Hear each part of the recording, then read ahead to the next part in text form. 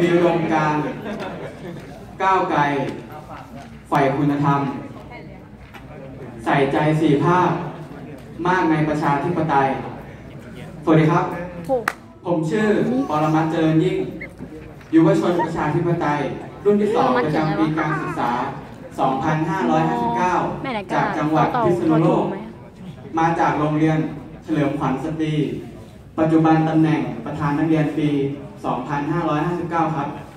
ชูปลายไว้ดาววิสัยทัศน์ข้างต้นที่ผมพูดไปหนึ่งเลย มีอุดมการณ์อุดมการณ์เป็นสิ่งสำคัญนะครับ อย่างแรกเคยได้ยินคำว่า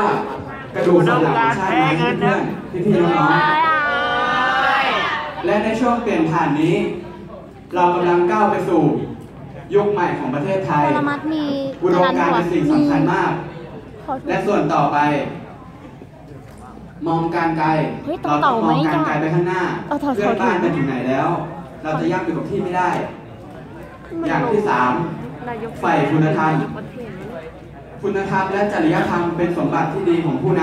ำผู้นำต้องรับฟัง และนำมาปรับแก้ไขเพื่อนำไปพัฒนาอยู่ข้อได้สี่ไม่ได้ไงต้องเดิน ข้อสี่คือการ ลืมนิดนึงติดนิดนึงไม่เป็นไรตื่นเต้นผมรู้ว่าทุกคนตื่นเต้น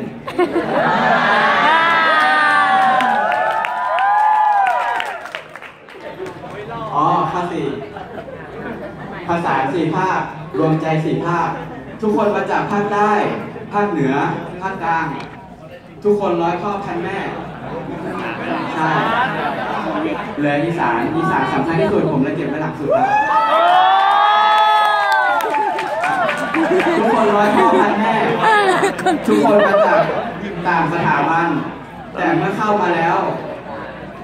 ทุกคนคือพี่เพื่อนน้อง ทุกคนคือเครือข่ายเดียวกัน ส่วนข้อสุดท้ายมากในประชาธิปไตย ประชาธิปไตยคือหลัก 5 ข้อ 1. อำนาจในประชาชน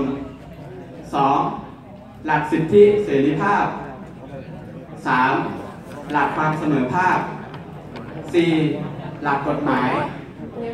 5. หลักเสียงส่วนมาก และเคารพเสียงส่วนน้อยด้วยเช่นกัน